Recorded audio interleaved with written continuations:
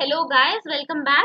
In this video lecture, we will be discussing the question number 105 of NEET 2018 question paper of series AA.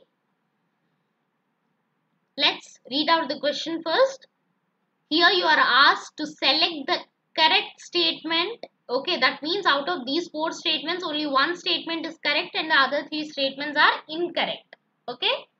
The first statement given is spliceosomes take part in translation. The second statement is Punnett square was developed by a British scientist. Number 3. Franklin Stahl coined the term linkage. The fourth statement is transduction was discovered by S. Altman. Okay, these are the four statements given Now, when we talk about the first statement, what do you mean by spliceosomes?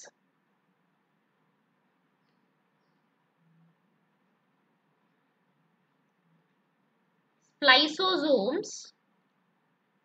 What is the function of spliceosomes? Spliceosomes splice something, right? They cut out something. What they cut out?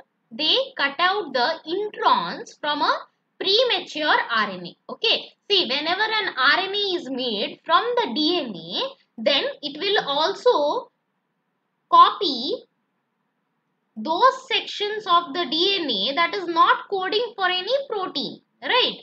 That is not coding for any protein. For example, these red part, this red part does not code for any protein. Okay. Okay, let me use different color. It will be easily visible. Okay, now it is visible, I guess.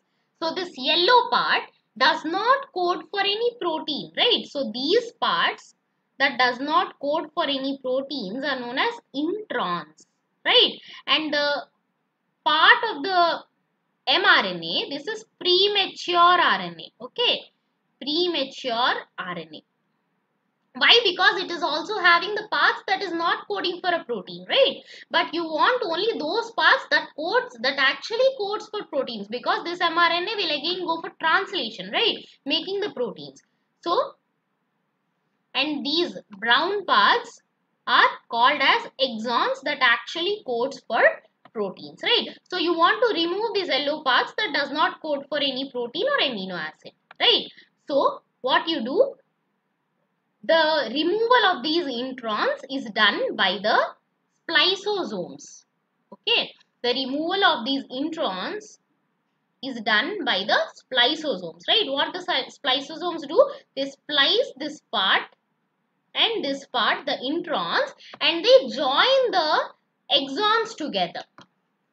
Okay, this process is also known as splicing. Okay, so they join the exons together, right? All the brown parts, the exons are joined together and now this is known as a mature RNA, okay?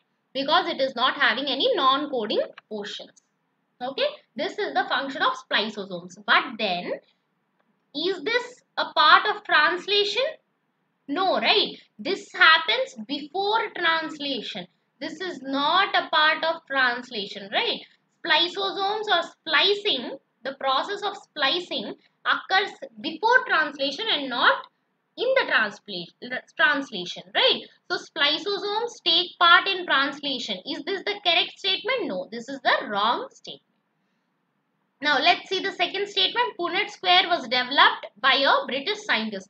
Punnett square is used to study the number of combinations possible, right, out of the alleles. So, Punnett square was developed by a scientist Punnett and he belongs to UK, right? So, this option is correct, right? Punnett square was developed by a British scientist. This is right. Third option, let's see the third and fourth options as well. Franklin Stahl coined the term linkage. No. Whenever we think of linkage, only one name comes to our mind, that is Morgan right so morgan th morgan coined the term linkage and also he have studied the linkage extensively right so this is not the correct option the fourth option transduction was discovered by s altman no transduction was discovered by zinder and Lederberg. Okay, these are the two scientists who together discovered the transduction process. So our correct option is option number 2. Thank you.